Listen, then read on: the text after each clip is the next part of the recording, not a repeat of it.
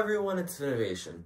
Well, Halloween is coming up really soon, and as you guys know, I'm doing a pirate theme. So, the obvious question is... The obvious question is, what can you do? It needs to be fast and it needs to be cheap. Well, we're going to build a guy with a pirate ship wheel on the roof. And uh, we're going to do this as a Halloween prop, and it should be pretty cheap. Let's get right into it. All right, so the plan is we're going to have a wheel right above our jail. So the wheel's going to be kind of like up on the roof right there. And what we're to do is we're to build um, two pieces of wood going on either side of the roof. And then the wheel's to be right on top, and I think it's to look awesome. All right, so these are the materials you're to need. First off, you're to need a few pieces of wood. We got these from an old fence that we had. Um, and, you know, they're nothing special, just some wood, because it doesn't actually need to support too much. Then we've got some thin PVC pipes. We're to use these as the spindles for, like, the steering wheel. Then we've got some pipe insulators. Um, you can totally use pool noodles. You can just buy these at, like, Lowe's or whatever, and they're a little bit cheaper.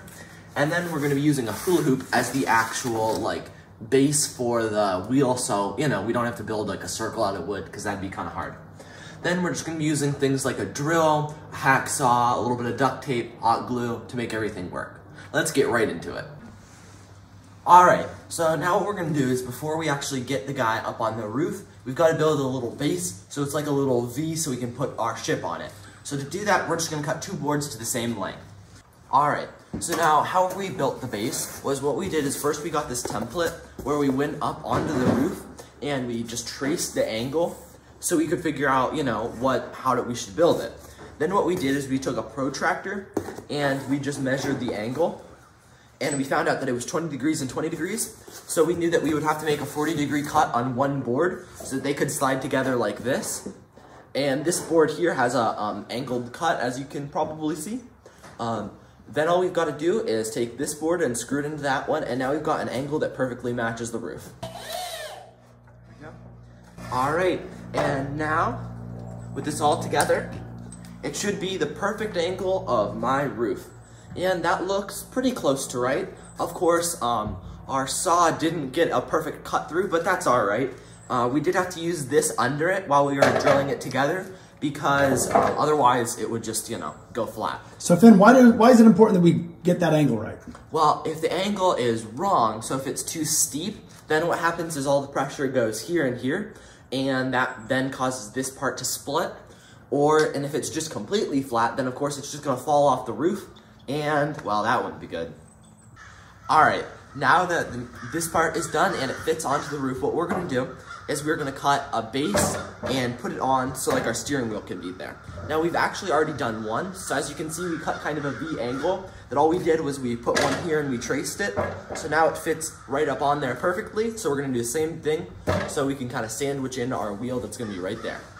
All right, so now that we've got these two pieces on, it should perfectly fit the roof. And as you can see, that angle's good. And these fit on really nice and flush. There's enough space in between there for the wheel. And again, all we did is we just threw some screws up on the bottom and uh, cut the angles. And now all we've got to do is do our wheel. All right, now this thing is really coming together. What we're gonna do now is build the wheel. As you can see, that's already starting to look good. Now, what we're gonna do is we're gonna take a hula hoop, some pipe insulator, and wrap around the outside. Then we're gonna take this chunk of wood that we got in the middle and some PVC pipe that's just gonna run all the way along it on every side that holds that uh, chunk of wood right in the middle. All right, now what we're gonna do is actually build the wheel. So the first thing we had to do is measure how far the hula hoop goes from each side, and we've gotta make sure that our pipes are long enough. So it is about 34 inches all the way across. And now our pipes, as you can see, are definitely long enough to go across, and we want to have um, eight different like spindles going around the thing. So what we're gonna do is first we're gonna have to cut the pipes in half and we're going to see the um, this, drill holes in because we've already actually marked out where each of them are going to go. And then we're basically just gonna stick the pipe right into the hole.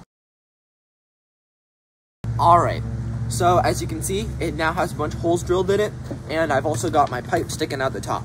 Now what we wanna do is when this is in the middle, we want it to be about two feet out because pirate wheels, they always have like a little bit of grip on the outside so you can really get some leverage. So it's gonna go a little bit past. So that would be about two feet. So what we're gonna do is we're gonna go out measure two feet, and then we're gonna get a hacksaw, and just cut it. Ahoy mateys, as you can see, I've got my pink pirate wheel. And now what we did is, last time you probably saw it, it looked like a star, and we just put this hula hoop right on it, um, and we screwed the pipes in to make, to make sure that they hold and they don't come out. Um, also, we measured to make sure it's in the center. Now what we're gonna do is put it on this piece we made earlier, and take a dowel rod and just slide it through. So we drilled some holes to, um, actually I'm gonna need a hammer to do this, but we drilled some holes that should supposedly line up. And now, as you can see, we've got a pirate wheel that actually kind of works.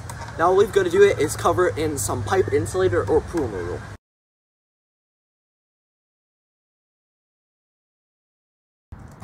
Alright, so as you guys can see, the ship wheel is done, and covering it in the pool noodles and the duct tape, it looks really good.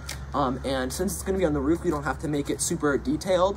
Um, but what we're to do now is we are going to use some paint and paint this like bottom bit black because we want the whole thing to be, you know, one color to make it look a little bit better. So I'm just to paint it right now. All right. So as you guys can see, we are now on the roof trying to get this thing up and it does match up there. We also put a towel under it just to create some more friction and make sure it doesn't slide.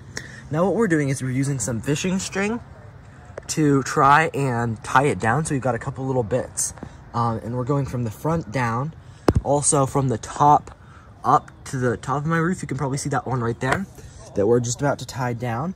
Um, and once that's secured, it should be all good. All right, so now as you guys can see, it is up on the roof. Now what we're gonna do is put the skeleton on it. All right, so as you guys can see, we've now got a skeleton up there. And we tied him up just like we actually tied the wheel. And he's looking really great. So he got his one hand on the one part of the wheel and his other hand on the other. And uh, he's kind of, you know, steering up the ship. And I, I think it looks awesome. And the coolest part about this skeleton is his eyes actually turn on. So that looks so awesome. Now that we are coming close to the end of the video, I want to say a thank you to everyone who has helped me and given me things for this project, and also to come stop by and see it on Halloween. Well, it's all done, and I love sailing the seas with this thing. Seas, Finn, that reminds me of a joke. Oh boy. Why does it take so long for the pirates to learn their alphabet? I don't know, why? They spend years at sea Oh, that was horrible. Whatever, if you enjoyed this video, leave a like and subscribe. Thank you so much for watching. Bye! But they sure do love that letter R.